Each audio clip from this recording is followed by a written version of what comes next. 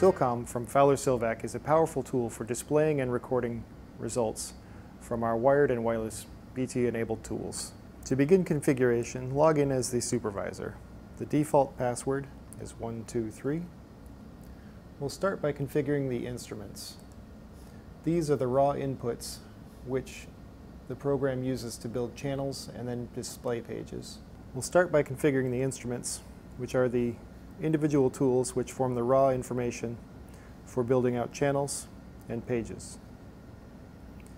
They will be connecting a Bluetooth tool. First, we'll, we'll connect a Bluetooth receiver dongle, which shows up as so if the drivers are installed and recognized properly.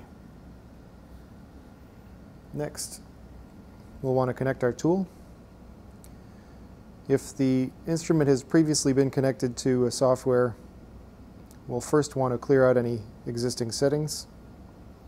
And do that by pressing and holding the mode button and then using quick presses of the mode button to cycle through to BT. We'll select reset. We also may have to turn it on if the Bluetooth symbol doesn't start flashing.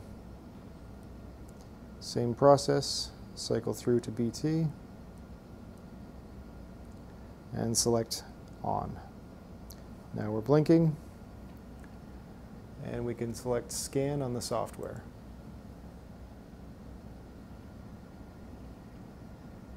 And our instrument is connected. Now here it's asking us to enter a name for the tool. We'll just set this to indicator. From the instruments view, we show a list of everything connected. Right now it's just the one gauge. We see the gauge title, which we can edit, the MAC address, model number, firmware version, connection type, current value, units, and last calibration date. We can also send commands to the gauge from here to check the battery level or pull for data. Once an instrument is connected, a channel is automatically created. So now that we have an active connective instrument, we can go to Pages, add a channel to page 1. Notice this is not configured yet.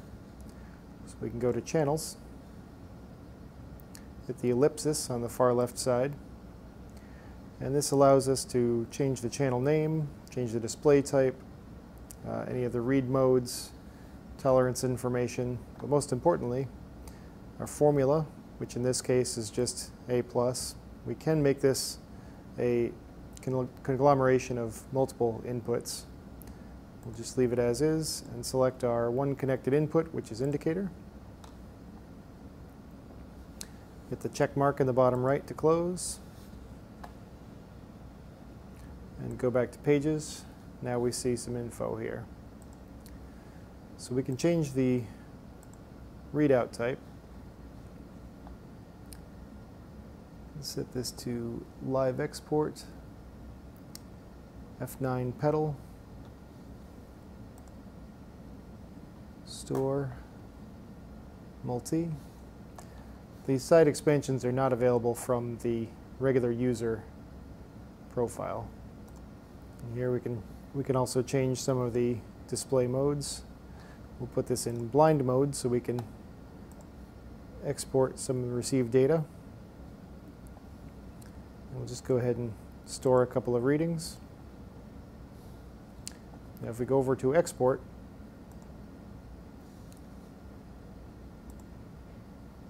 highlight channel, and we see some of the readings we've stored already. Now there are check marks at the top to select which of these features will actually be exported. And we can export to a file. In this case, we have a text file on the desktop where these readings are saved. Another powerful tool included in this program is the work menu,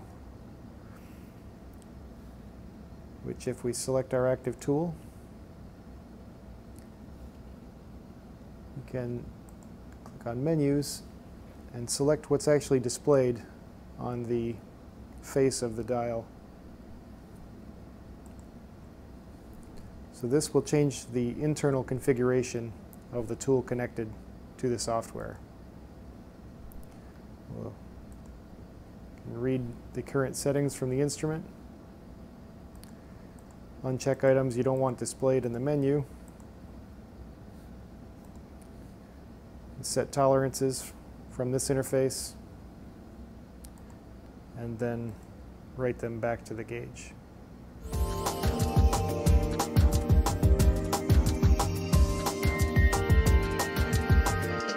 Thank you.